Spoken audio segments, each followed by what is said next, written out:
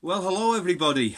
Welcome to the Kuukkeli Bushcraft channel. Okay, those of you who have been following the channel for a while might have seen this guy before. This is Billy. He's uh, Billnäs 1123. So, yeah, a Finnish collared axe. So they've been making these things since the Middle Ages. And uh, they stopped production in uh, round about the late 70s, early 80s and uh, throughout the 20th century there was two ma two main brands. Uh, Billnäs being one of them Kellokoski the other. But yeah you can tell this is one of the the later models not just by the name of the model but also the shape of the pole and also the epoxy in the top. So uh, I've got two new ones coming the post today so I'm keeping one, another one's going to a friend of mine. But yeah, let's open the package and see what we've got. In the start of the 20th century, Billnäs and Kellokoski, they uh, standardised their designs. So these are two axes very similar to the one I've just shown you. They're both Kellokoski and they're both number 12s. I don't really know that much more about them uh, I guess the condition isn't great because they uh, they were very cheap. So you have to uh, look around to find these for a for a reasonable price. But they made a lot of them, and uh, they made them well. They made them to last, and last they did. So you can still find them.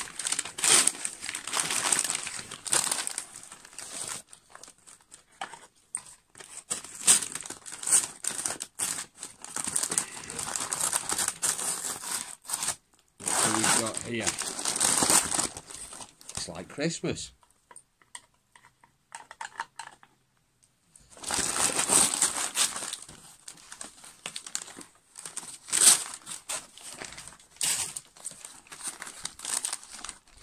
Okay, with these old axes, the handles can quite often be a bit loose. So you can uh, solve this by soaking them in linseed oil and as if this doesn't work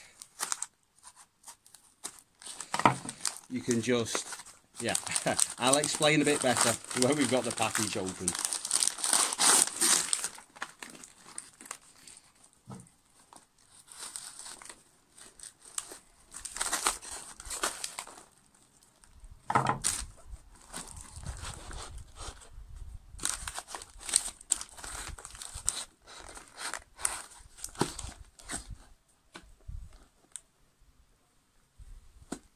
yeah so that's uh, that's very loose.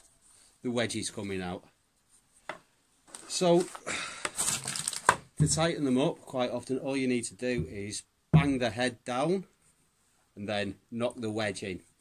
Uh, so the collar uh, it tapers towards the top and it flares out a little for the just the last part. And uh, any handle you put on these things I guess I'm going to have to rehandle one one day. I'm dreading it.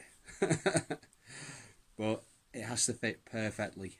And with you having a bigger area, you've, you've got a lot of friction holding the head on. Uh, yeah, that wedge can come out and be re-glued. Already, it feels quite solid just from pushing the wedge in a bit with my finger but this is a Kellokoski 12.3. So the 12 series was the most popular and I believe they stopped making them in the 1970s. Uh, uh, Billnäs, that is. I think Kellokoski had already, I, I, think the, the name already didn't exist. Uh, yeah, let's have a look at the other one. I believe they're the same. I believe they're the same.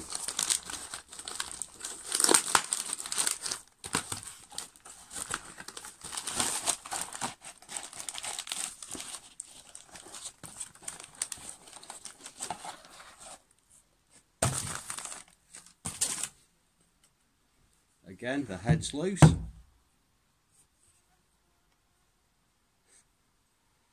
again a little tap and it's nearly there. The edge looks the, the edge looks pretty good on that. There's no serious chipping. Uh,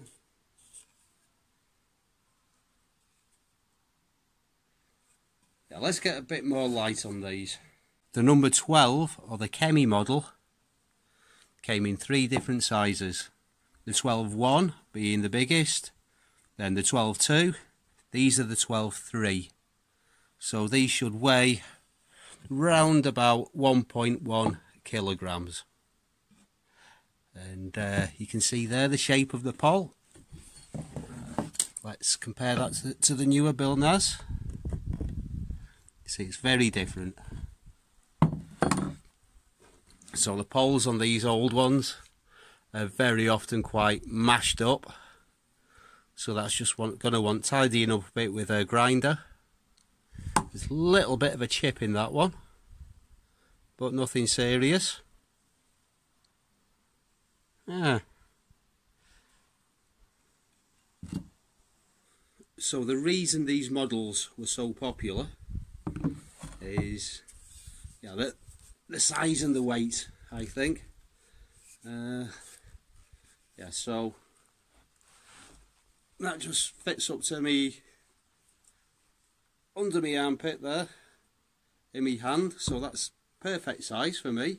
Another thing you hear people say is if you hold it like that it should just touch the ground. Uh, I think that might be quite good for, for safety but I think for yeah I, I prefer them just a little bit shorter. But any shorter than this you can't really get a good two-handed swing I feel. And as for the weight you know a weight like this you can you can do quite a bit of chopping with this before you get tired. And uh, yeah size and weight for a multi-purpose general axe which is what these were. Uh, if you wanted a felling axe you get a you get a number one uh, substantially heavier.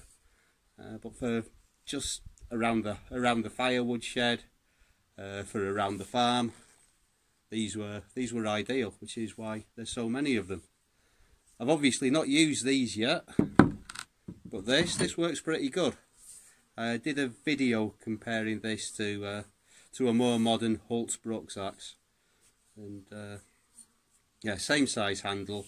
I think this performed a little bit better on a few tasks and I think it was mostly down to the weight.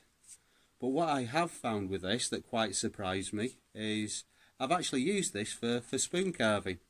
And yeah for, for delicate things it's really quite surprisingly good.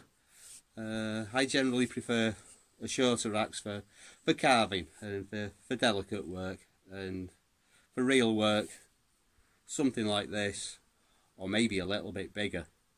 But as if I'm working in the woods and I'm walking around I'm thinning a few trees out I mean this is this is enough weight to carry around you know so yeah. Nice axes.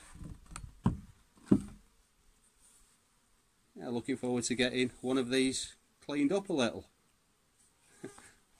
My head feels really tight now. That was a very easy fix. Yeah. That can be fixed better than that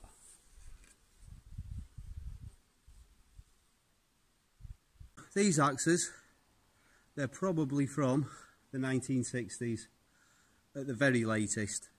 So from about 1900 to uh, the early 70s is when these were produced. So yeah, it's great to get something something so old that's in good condition that's also had a lot of heavy use. You know?